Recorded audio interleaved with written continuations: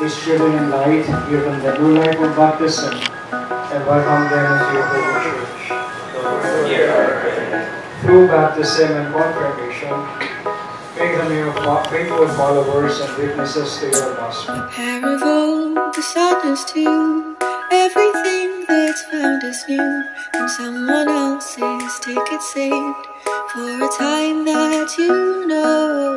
Did you see what happened here?